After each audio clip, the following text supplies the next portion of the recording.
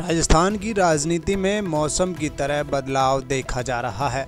मुख्यमंत्री अशोक गहलोत और पूर्व उप मुख्यमंत्री सचिन पायलट के बीच शुरू हुआ सत्ता का संघर्ष अब राज्य भवन तक पहुँच चुका है।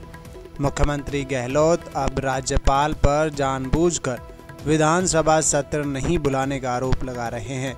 वे अपने सभी विधायकों को राजभवन ले गए और वहाँ डेरा डाल लिया मुख्यमंत्री अशोक गहलोत और राज्यपाल कलराज मिश्र के बीच मुलाकात हुई और कलराज मिश्र विधायकों के धरने से नाराज़ हुए और उन्होंने विधानसभा सत्र बुलाने से इनकार कर दिया।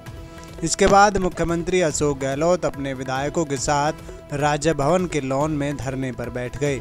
इस दौरान मुख्यमंत्री अशोक गहलोत और सभी विधायकों ने महात्मा गांधी का प्रिय भजन रघुपति राघव राजा राम पतित पावन सीताराम और हम होंगे कामयाब गीत गाया। कांग्रेस के विधायकों का कहना था कि एक दिन हम ज़रूर कामयाब होंगे और भारतीय जनता पार्टी का षडयंत्र फेल हो जाएगा।